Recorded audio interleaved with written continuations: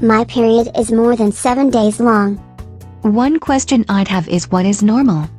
I do not think this is normal. The average duration is 5 to 7 days, but that varies from person to person. What is normal should be measured by what is normal for you. Not this long. Periods can last anywhere from 3 to 10 days.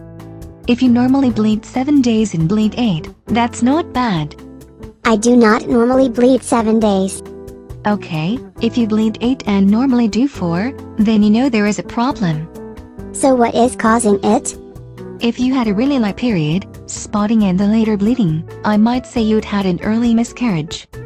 How could I tell the difference? I mean, a period usually means not pregnant, not that I'm no longer pregnant. A positive pregnancy test today from the hormones that goes negative over a few days is a sign of that. Then again, if your period was really late due to stress or early pregnancy lost, it could last a long time, too. I thought miscarriages were really heavy periods. They look like that, and the bleeding is worse the later on you are, or if things do not flush up properly. Then I need to get to the doctor.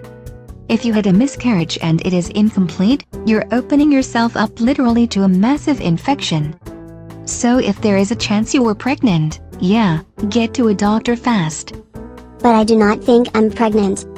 If you had a really long time without a period like a skip period, then all the matter now is what did not come out last time. It is like the extra trips to take out the trash when you forgot last trash day. I heard this could be a sign of an infection or a hormonal imbalance. Maybe, which means seeing a doctor.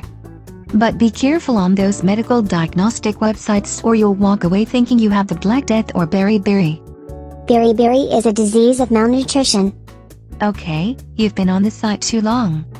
Maybe you have uterine fibroids bleeding regularly and mistake it for your period.